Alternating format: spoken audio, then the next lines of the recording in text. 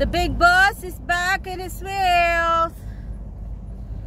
You know why it's big time for me? Because four months ago, the doctors in Toowoomba said said to me that he will die in about four days or seven days and he will not go out of Toowoomba Hospital alive.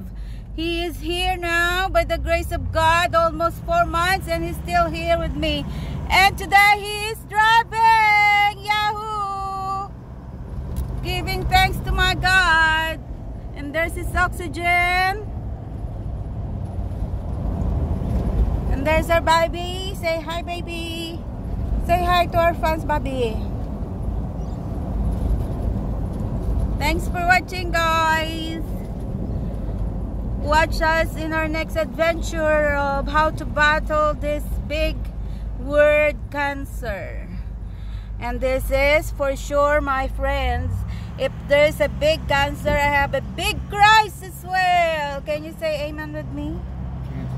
So big Christ is bigger, much much bigger than the big cancer. And hey, my husband just reminded me that the doctor said you have to go home because we can't do anything about you anymore. We can't give you any medicines at all for that cancer. We can't give you any more chemos because they gave up on him. I told my husband, hey, if the doctors gave up on you, now it's the time. Trust the Lord.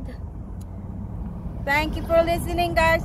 Thank you for watching my YouTube channel.